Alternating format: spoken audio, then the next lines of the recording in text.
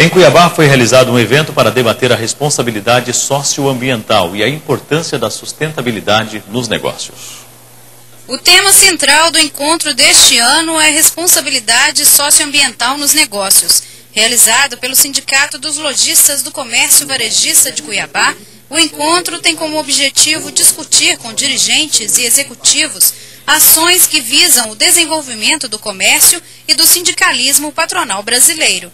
Isso tudo começou mais marcantemente é, na Eco 92, quando dali surgiu o encontro das nações que se deu em junho de 92 no Rio de Janeiro. Dali saiu a chamada Agenda 21.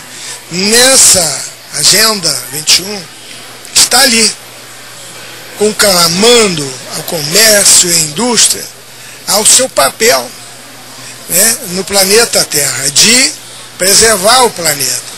Palestras que discutem sobre a responsabilidade socioambiental nos negócios e a importância da representação efetiva dos sindicatos foram proferidas. A questão da, da, da responsabilidade socioambiental nos negócios é um tema da atualidade, é um tema presente na nossa vida do dia a dia.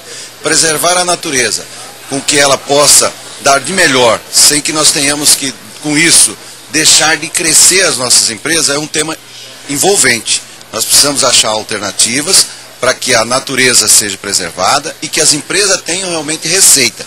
E é nesse contexto que esse encontro traz aqui pessoas com ideias, com proposta, para que nós possamos discutir e apresentar a toda a sociedade é, de presidentes e, e diretores de sindicatos para que possam levar isso às suas bases e transformar em receita sem que possa prejudicar o meio ambiente. O evento traz à tona e coloca em pauta discussões sobre a sustentabilidade dentro do ramo empresarial. Preocupação essa que se justifica quando o assunto é preservação do meio ambiente. Não há mais como fugir desse tema. Esse tema graça por todo o planeta. É, Furtar-se disso é, é condenar-se é, ao erro. O planeta Terra precisa abrigar a vida. Precisamos ter mais cuidado com o planeta Terra.